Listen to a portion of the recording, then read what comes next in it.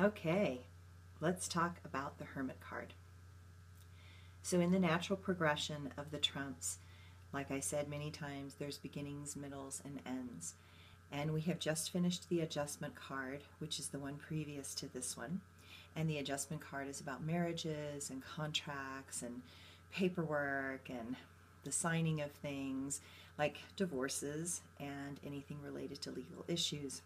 And what happens when you get married um, is that all of a sudden you realize that you've lost your boundaries.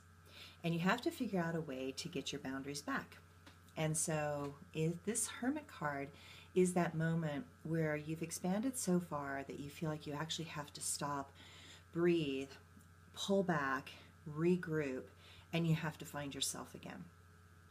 So, this card, you see the Hermit with the gray hair, with the red robe, and he's kind of got this soft, swoopy energy to his body because he's trying to find the flow and he's going into the darkness. And yet he has a light, which is his own knowledge and awareness, that is shining in the darkness, guiding his way.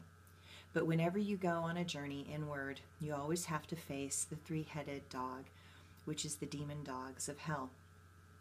And so you have to confront your fears you have to confront the things that you don't want to look at in order to find the hidden treasure that is buried in the dark. Because treasure is always hidden in the dark, in myth and mythology. You will also see that he is in the darkness, but he's actually in a field of wheat. And the field of wheat actually looks like um, the villi in the fallopian tubes that push the egg through um, the fallopian tubes towards the uterus. And you also see in there the um, egg with the snake wrapped around it, which uh, indicates the fertility process. And you also see in the card a, a symbol that's kind of looking like a sperm that is seeking out in the darkness its place that it's trying to be, which is the egg. So when you get this card, it's an indication that yes, you're in the dark, but you're searching for the light um, inside of you and you're searching for life. Um, you also are going deep within you, and there's fields of wheat and abundance when you're willing to go deep within.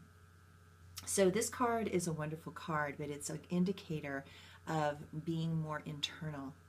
And this card has an association or a connection with the Bear Dreamer Magus card, which unfortunately now um, has been taken out of the Aleister Crowley cards, and so then you're going to have to associate it with the regular Magus card.